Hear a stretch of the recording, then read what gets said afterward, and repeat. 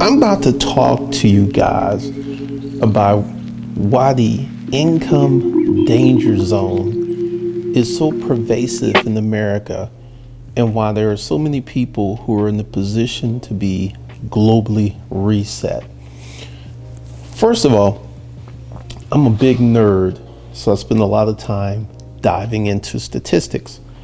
And one of the things that you and you just living your life, you don't really research this stuff, you don't know about it, is that 70% of America is in the income danger zone. Now, what is the income danger zone? The income danger zone is an income, single person income, single person income, not household income, but single person income of less than $50,000 a year because after taxes, which is about 12,000, 15,000, that only leaves you about take home pay of 3,000 bucks a month. And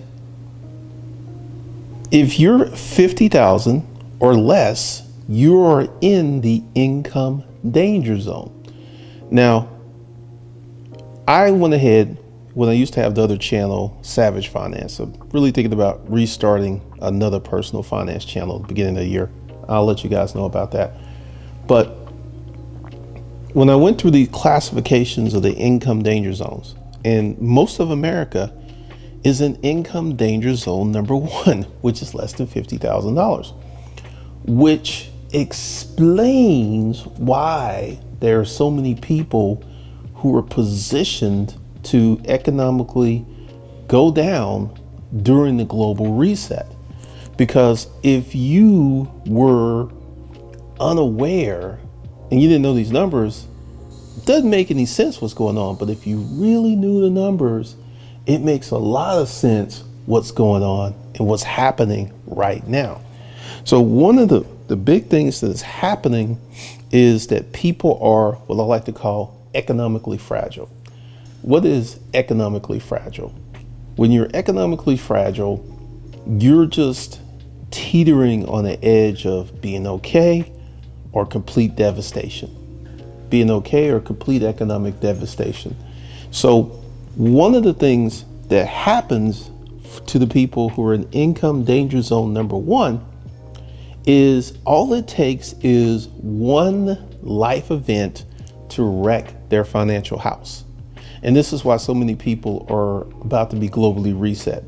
The things that you're seeing in 2021 are nothing compared to what you will see in 2022 and in 2023 and 2024. This isn't going to disappear or turn around or the it's, it's not going to be a quick turnaround. So you have so many people make less because once you go ahead and check out the Census Bureau, because one of the things that you consistently see when you look up average income, they will position household income, which is about fifty-nine or sixty-two thousand dollars, which is one, two, three, four, or five incomes. Because when you get into it and you start looking at what people make and where people live and how America's set up, this really sets the stage for why so many people are catching economic hell. Here's the first problem. And this is something that they used to teach people in school that they took out to school. There used to be a course called Home Economics, and they would teach you how to set up your checking account and balance your checking book. They taught financial principles. And also, back then, you did not have all of the enticements that you have today. There was no title lawn pawn. There was no rent to own. There was no credit cards. Credit cards, I think, came in the 50s. I'm not 100% sure when credit cards got started, and they were only pushed toward the well heeled. So let's go back to 1960. Your father graduated high school. There are no credit cards, there are no loans. All you can do is work a job, save your money, and make your purchases off that power.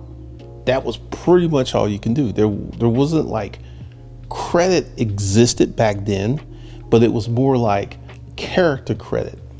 if you went to a grocery store and the grocer knew you and your family, and he may like extend you a credit of 50 bucks to buy groceries and you pay him next week. That that type of credit existed all over America. And it was character credit. Because if they knew you, they knew your family, they would extend you credit. But if they didn't know you, it wouldn't happen. So as we started to evolve as a country, as markets opened up and people figured out a way to make money, um, this wrecked the American middle class. And I'm going to do a completely separate video on the middle class. So I'm not going to get into that right now. But when you look at why people only make X amount of dollars, that's the question. Because right now, during the great resignation, all these people are leaving, they're looking for better jobs, they want to be treated better, they want higher pay, they want a better situation, they want a better standard of living. Here is the problem with that. First of all, there are a lot of jobs that pay six figures. Computer data scientists, computer cybersecurity. And here's the problem with that. To qualify for these jobs, you have to take rigorous academic courses. And right now, when you go ahead and look at how many people graduated with a STEM degree or a hard to get degree or an engineering degree, it's not that many. And that's the problem. Because right now, with so many Americans, and let's talk about the pandemic, the two year part of the global reset. For the first time, many of these people realized time freedom. Now, what do I mean when I say time freedom? They had time to do what they wanted and they weren't being evicted, they weren't being foreclosed on, the repo man wasn't repoing their car. And I can tell you, as a person who has experienced time freedom, it's addictive. When you can come and go as you please and still manage your bills, that's very, very addictive. And you don't want to go back to having to go to the office, having someone look at you. You is like this created such a disruption. And this is why the great resignation happened because people understood and felt that they can have life on their terms. Now, as we go through the global reset, you're going to see a lot of people, and I know this is going to sound strange, a lot of people who are working at home at some point are going to have to go back to the office. Now, there will be people, and let's go ahead and talk about the classification of the people who will not have to go back to the office. The people that are very hard to replace, that are very expensive employees, well trained, extremely talented, and bring a lot to the table those classification of people will continue to be able to work at home. They will continue to do what they want. They will continue to have time freedom and income coming in. Those folks will have that. But if you're not doing something highly technical and you don't have that type of job, you're going to be regulated back to the old way of things. You're going to be back in the office. And there are many jobs where you can, like Amazon, associates that work in the warehouse. There's no way that they can work from home. If you work in the warehouse, there's no way you can work from home. If you drive a truck, there's no way you can work from home. If you're a plumber, there's no way you can work from home. If you're a construction worker, there's no way that you can work from home. So we're going to have a classification of jobs where these people will never, ever be able to work from home. Never ever. Never going to happen. Didn't happen during the pandemic. It's not happening after the pandemic. And what you're going to see is a lot of dissatisfaction because now people know there's a better way. They know.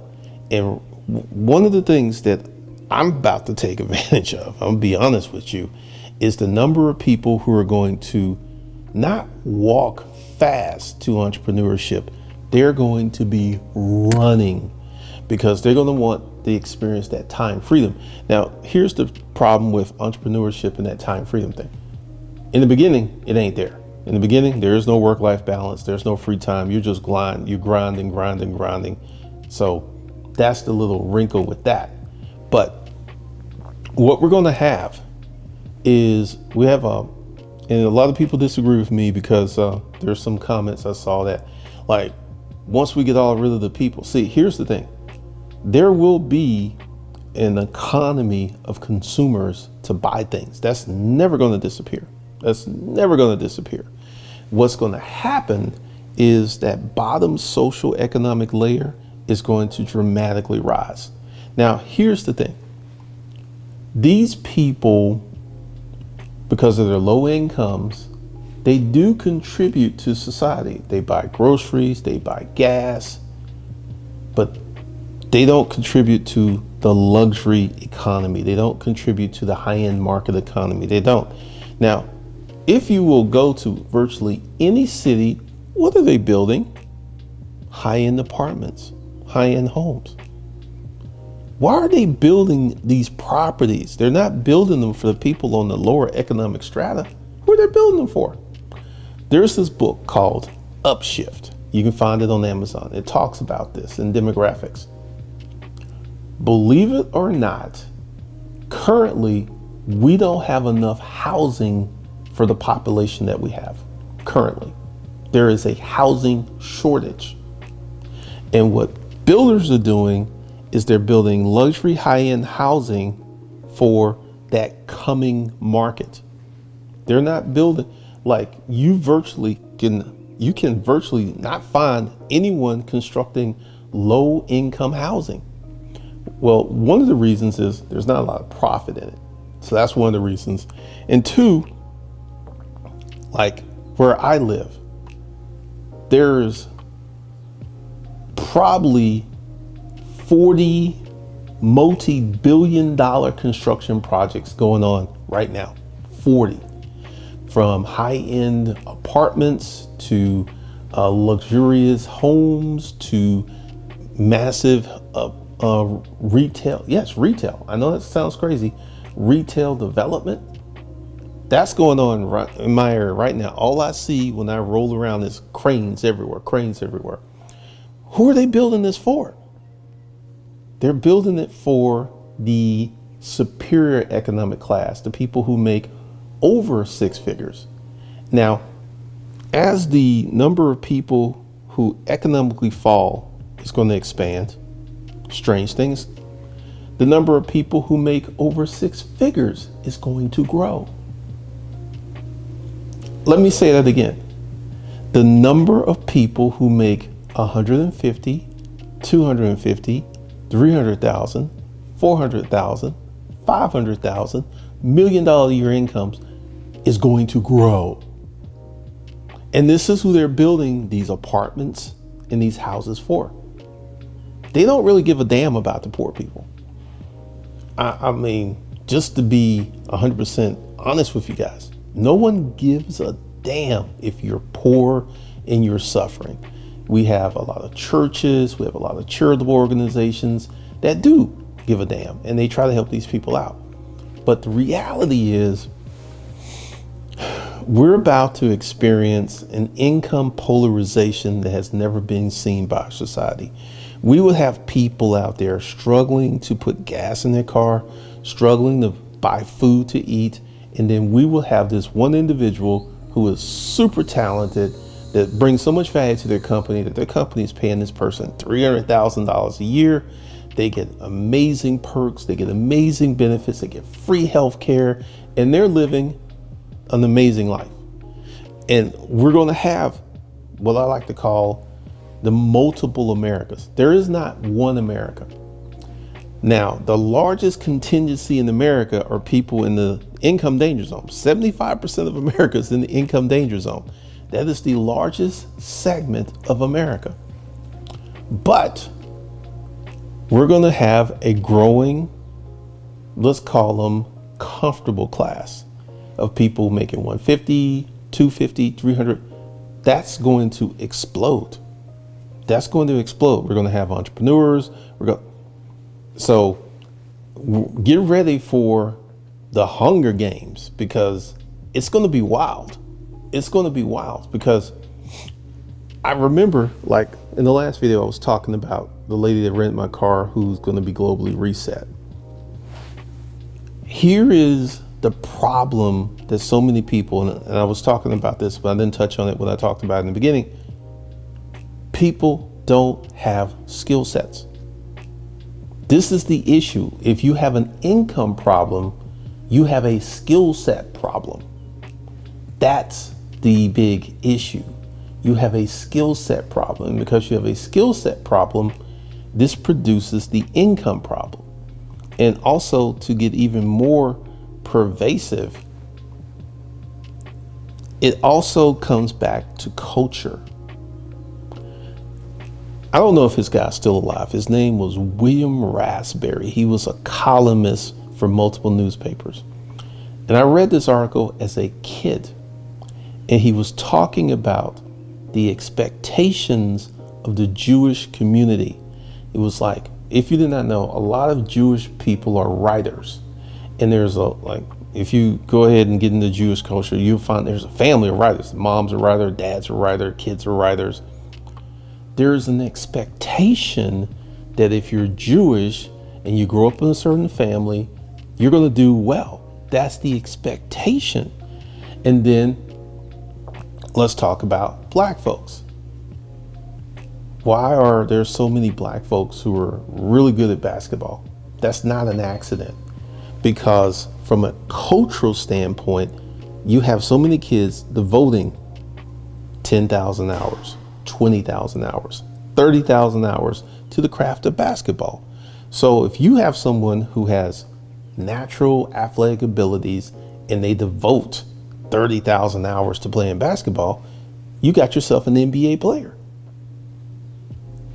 That's the reality because they devote so much time to it because that's something you can do. That's for you to do. You can be, you can play basketball. You can do that. You can do that.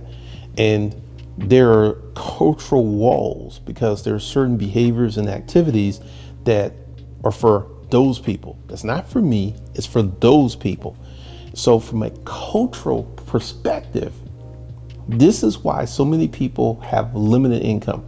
Like, I was watching this documentary about prison, and it was it was heartbreaking. It was literally heartbreaking because this guy committed a crime at 17. He went to prison and he was getting out of prison at the age of 27. He's never had a cell phone, he's never driven a car. And you have this person who is uneducated, unaware, and from a social perspective, completely blunt. Isn't aware of social clues, doesn't know how to conduct themselves, and there's this term that I heard them use in the documentary called institutionalized, that these people can't cope on the outside because they've been institutionalized and they're more comfortable in prison than being free. Let me say that again. They're more comfortable in prison than being free. So, culture and environment has a lot to do with this. It's not some fat cat in the cloud saying, you will be rich, you won't be rich. That's not it. It is cultural behaviors. I've talked about this before.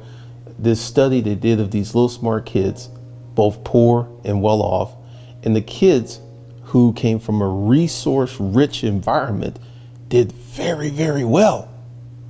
And the kids, even though they were academically and from an IQ standpoint, on par with the upper class kids from an intellectual standpoint, because they were in a resource deficient environment, they didn't do well, even though they were smart.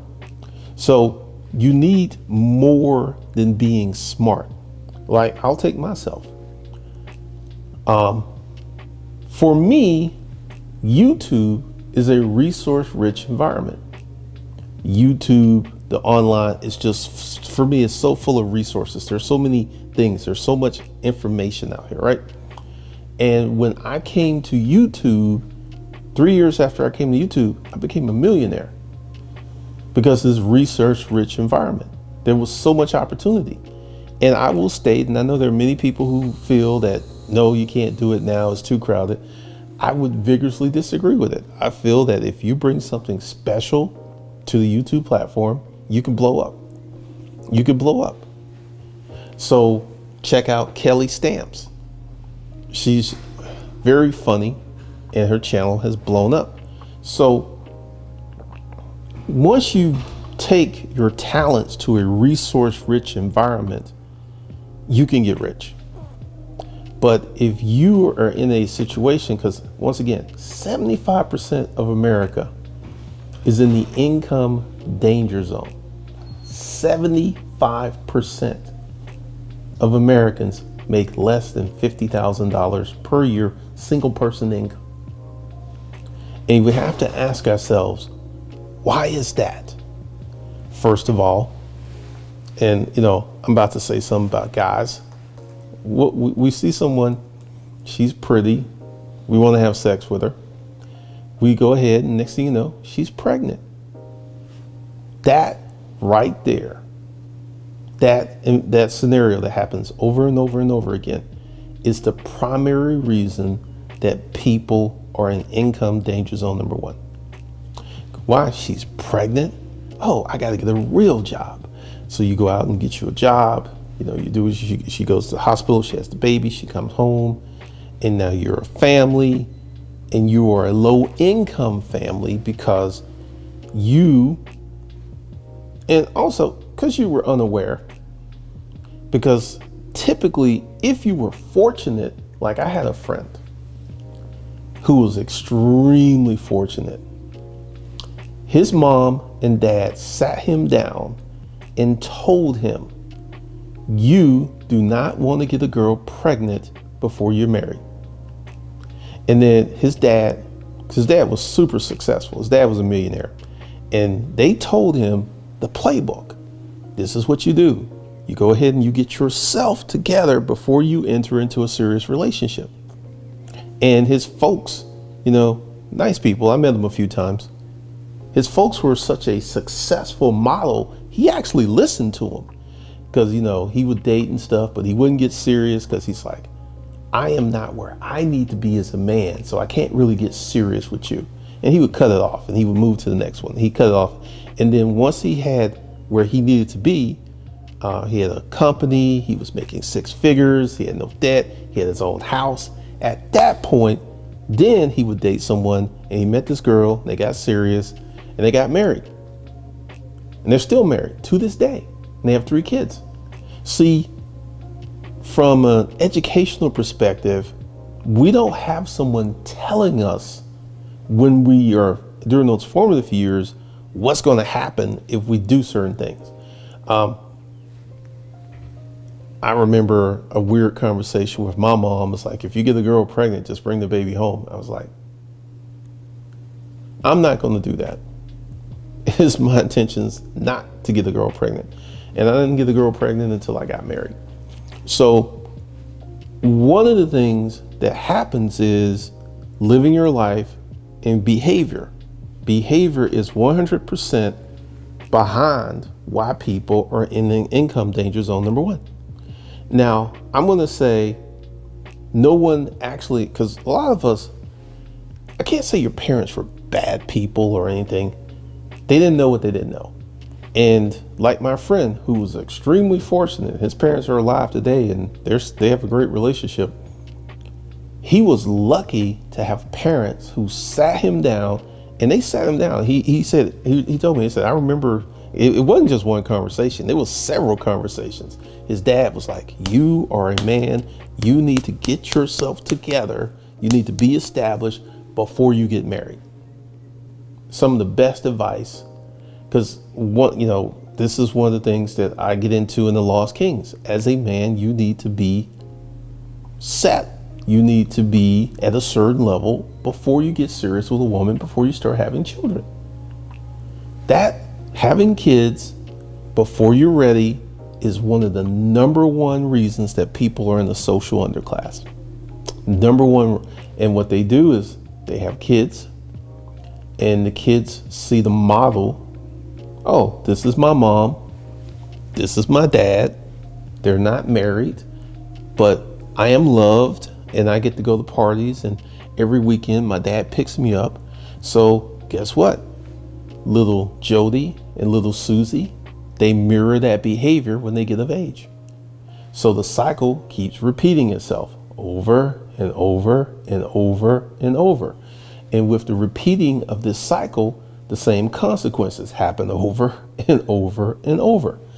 At the moment, I know of personally 10 people who are going to be globally reset. 10. And as I talk to them, because you know, I cannot save the world. I cannot save the world. I, have not put on a cape and like, I'm going to do all this because essentially, um, just trying to save these 10 people would literally financially run me. it really would because they got a few of them got some heavy needs got some six figure needs. I mean it, it, was just like wow that's who knew that a person could get in that much debt? But as i look into their stories and i listen to them i hear the same themes over and over and over again. The same themes the same themes the same themes. I was like ah this is why this is why so if you're in income danger zone, and this is something that we'll be talking about, you need to work as hard as you can to get out of income danger zone. Because here's the problem. There's a hundred and support hundred, I don't know the numbers, but it was before the pandemic, 160 million people in the workforce, right? 80 million of those people made $30,000 a year or less. And let's talk about those 80 million people. You don't have enough money to invest.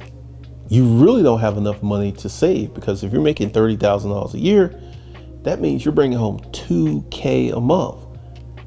Average rent is a thousand bucks across the country. And then when you get into the cities, average rent is 15, 1800. You're only making 2000. So this is forcing people to be into relationships that maybe they wouldn't be into if they didn't have to be with these people. Because it's like you make 2000, she makes 2000, you pay the rent, she gets everything else. So th- this this is creating a lot of social situations based upon economic need versus true love and desire. This is what's opened up the door. So one of the things that you will have to understand, because I'll be talking about the income danger zone number one, it is such a slippery slope because all it takes is just one thing unemployment, a health crisis, maybe an accident or something, or a global pandemic to knock you off your financial axis. And now you are struggling. Now you are in deep, deep doo doo. Now you're in that spot where life just overcomes you. You got a little job and you're barely paying the bills, then you lose that job for six months. Then everything gets behind. It could literally take you two years to get back to normal. And then during this period, there's this two this six month period of unemployment will impact your income for the next 10 years. So it is a very slippery slope, and this is why so many people are positioned to be globally reset. It's not like these folks want to be globally reset. I feel that it's a lot of people who are unaware of what's going on. They really, really don't know. All they know is my life sucks. That's what they know. And they just like, and they're like, and they, they want to look at it from a moral standpoint. I'm a good person. I go to church. I take care of my mom. Why has all this bad stuff happened to me? And I'm going to say something that's going to be very controversial. Success doesn't care if you're moral or not. I know that's going to be a hot topic, that's going to be very controversial, but success doesn't care if you are moral or not. Doesn't care. Success doesn't bring that into the table. So there's a lot of people who are good people, honest people, Christian folk who do the right thing, live the right life. They don't bother nobody, they don't hurt nobody. And they're like, why does my life suck? Morality has nothing to do with it. Um, to go a little dark, there are people walking around who have killed someone who are living amazing lives. Do you know that about 40% of murders go unsolved? So that means that someone kills somebody and they're going home to their beautiful wife, their family, living a life, taking vacations, and living a good life, even though they did something heinous. They took another life. I, I, I, study stuff like that. I'm a weird guy. I know. I study stuff like that. But so if you can pull the morality out, because the morality brings with it a lot of expectations, a lot of, um, I'm a good person, I should be doing well. Those two are not equivalents because you're a good person and doing well. Those two have nothing to do with each other. And I know that's going to be really controversial because there's a lot of good people out there who live a good life, who do the right thing, and they're suffering. And they're trying to correlate, I'm a good person, and why is my life sucks, when that shouldn't even be in the equation because you can be an extremely bad person and have an amazing life if you do the right things because it's about your behavior. Going back to why so many people are in income danger zone number one, it goes back to habit, it goes back to behavior, it goes back to culture. See, if you're in a certain culture that can pretty much predict your life.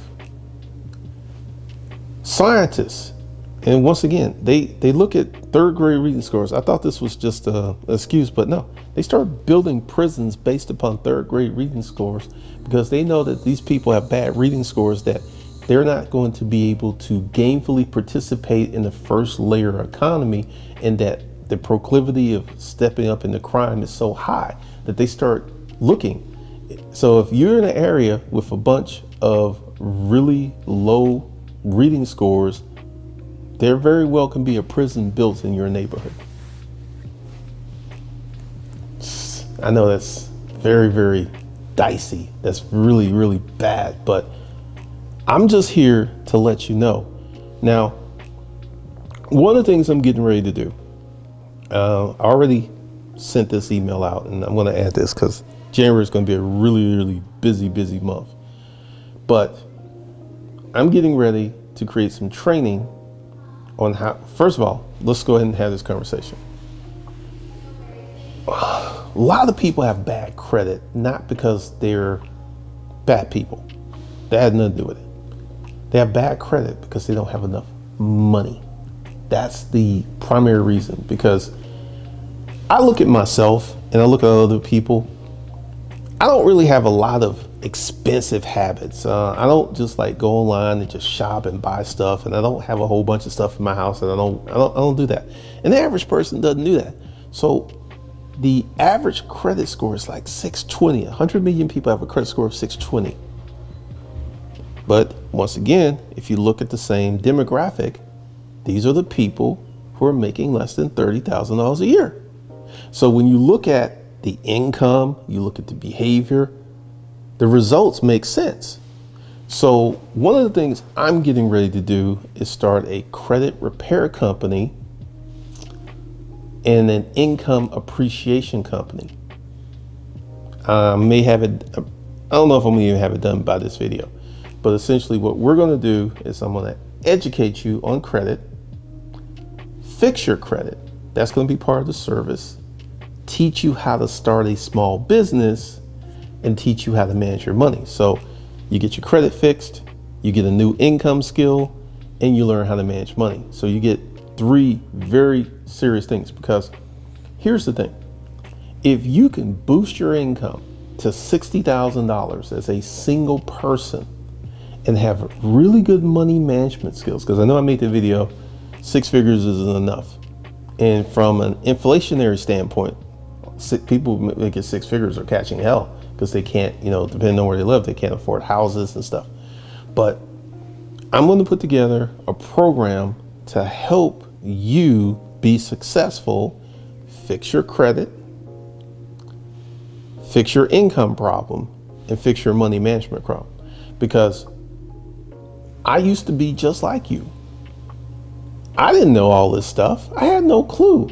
It was just when I started the business, and then, you know, starting a business, you get exposed to a lot of things real quick, like bam, bam, bam, bam, bam. And it exposed me to a lot of things. I got exposed to a lot of people. So I learned, I started learning literally day one I started my business. So there are lessons and things that I learned because I started a business that you are completely unaware of because you have not started a business. So give me a little time to get that together because um, during the Great Reset, there will be massive opportunity for people who are willing to work. Now, there's a lot of people who want to be an Instagram star or a YouTuber or something because they they like they want to put up maybe one or two videos a week, and that's the totality of all the work they do. If you can get that work, it pays well. If you can get it, it pays well. I mean, you can make a grip I'm I know people. i have got friends who are YouTubers. I personally know make a million a month. A million a month every month, and the money comes in like clockwork. So if you can get it, it pays very very well. But for the average person, it goes back to behaviors because all YouTubers I know that make that kind of money are obsessed with YouTube and they work 60 hours a week. See, that's the thing that you don't see when you see these YouTubers you don't see that the the the obsession over thumbnails and you don't see all that. You just see, hey, he does a YouTube video, he looks like he's having fun, he makes all this money. I'm gonna tell you, if you have a successful YouTube channel, you're working. You're working quite a bit. Quite a bit. So yeah, um, one of the things that is happening is I feel that people are frustrated people are upset, people are mad, and people are looking for a savior. And once again, there ain't no one coming to save you. There ain't no one coming to save you. I know that sucks. I know that sounds really bad, but there is no one coming to save you. No one. You gotta sew your own cape and be, become your own superhero and save yourself. Because if you are not um, doing that, um, it's it's very very bad. It's very very bad. So one of the things that you have to do and have to understand because I'm, I'm, getting ready to start having some master classes too so you'll look out for that is understanding the environment in which you're operating that is so important because once you understand the environment, then you know how to operate in the environment. But if you don't understand the environment, you could actually unconsciously do things that violate the terms of the environment. And next thing you know, you're being punished. And you were completely unaware because you didn't know what you were dealing with. That's a big part of America because ask yourself, like years and years ago, when I was got first introduced to the apparel mart, I didn't understand why there were so many immigrant business owners. I had no clue the why. I was like, why are these immigrants here? I was seeing Asians, Pakistanis, Armenian. I was just like, just boom, boom, boom, boom, boom. See, where these folks come from, you cannot do what you can do in America. So they already know that what you can do in America, you cannot do back home in Armenia or Pakistani or Seoul. Well, maybe Seoul. Seoul's, Seoul, is lit. Seoul's, there's a lot of things happening in Korea. But maybe Vietnam, maybe Israel, uh, the Middle East, you can't do these things. You can't. And these folks know it and they come here and they take full advantage of the opportunity. where you, the indigenous American, are completely unaware because you don't know what you don't know. You don't know what you don't know. You you have no clue to what's going on. So you are just kind of like feeling your way around, and the next thing you know, you're 65 and broke because no one told you how the game works. And once again, the reason that so many people are in income danger zone number one isn't because there's, you know, there, I see a lot of comments. It's the elite. It's the people that are trying to keep the man down. I'm going to say something that may sound a little off base. Do you think money is scarce? I guarantee you, everyone that you know has some money. They may not have a lot of money, but they have a, they have some money, which means money ain't scarce. Money ain't scarce. The income skills to get the money, that's what's scarce. Money itself is not scarce. Money is plentiful, it's abundant. Money is all around us. What is hard to get your hands on is the skills to get that money. But money itself is not scarce. If you give people what they want, they will give you money. It's just that simple. It's just that simple.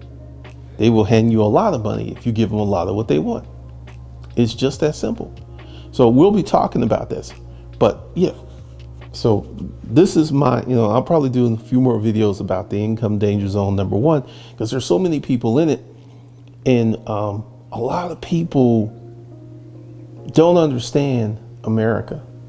They really don't understand America. Uh, many years ago, I was like you. I didn't understand America. I had no clue to how this country worked. I had no clue.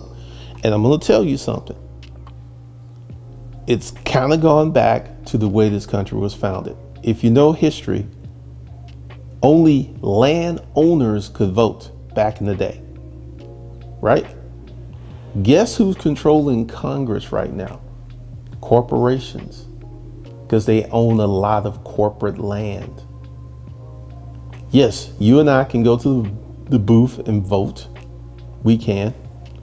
But your vote has more power in a local election than it does in a national election because of corporate interest. So I was a kid, there was this saying, if you can't beat them, join them. And that's what I'm telling you.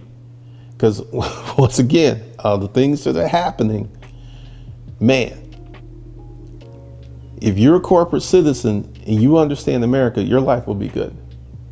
But if you are someone who's on this, I'm a good person, they should do this, it's just the right thing to do type of vibe, you're going to continue to suffer. You're going to continue to suffer. So that's all I got for you guys. Let me know. I'll be putting these packages together, these trainings, these conversations and stuff. And this is something else that I'm doing. And I'm going to put this out because I already um, running test on it.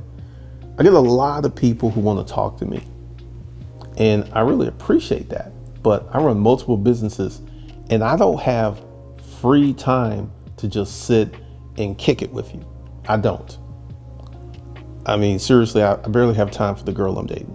So I don't have time to just get on the phone and chit chat. And I have a lot of people, you know, my consulting rate is 2,500 bucks per hour. And I get it. So what I'm getting ready to do for folks who want to chat I'm going to do group coaching calls. Whether you can do is sign up at B School for Hustlers. And once I get 10 people, then I'm going to have a Zoom call where you can ask all your questions. And I feel that if we have 10 people who want to start a business who are curious, I feel that this is going to be some good energy. I feel this is going to be some good juju and it's going to help you. So, what I'm going to do is I've created a, uh, like an online course. It's not a course, but you go ahead and buy it, and all of the recorded calls I will place there. So when you sign up, you can listen to all of the calls and you can get your business education. So that's the repository that I'm going to create. I'm, like I said, I don't know how this is going to work out, but I, I, I get so many people who's like, "How can I get in contact you?" And I'm like, I don't, I don't answer because I don't want to. Let me say this the right way. I am so busy and I don't want to start like, hey, let's start a little chat because essentially this is something I used to do. And it don't start, it, starts off like I got a few questions, right? And I remember I was on the phone with this guy for an hour and a half. Hour and a half. Wasn't making no money. And I learned very quickly that a lot of people will quiz you, ask you a bunch of questions, and they will do absolutely nothing with the information. So, um, this is something new that I'm doing group coaching. So, essentially, what you'll do is you'll sign up, it's 250 and what we'll do is once we get 10 people on, I will give a prompt, then you can start to answer your questions, and every person will get their few questions answered during that call. And then sign up. Every time I get 10 people, I'll go ahead and send all 10 people a notification of the time and place for the Zoom call, which will be after 7 p.m. because I know most people are working, and we will we'll we'll see how that goes. All right, so that link will be below, and that's all I got for you guys. So I will talk to you in the next one.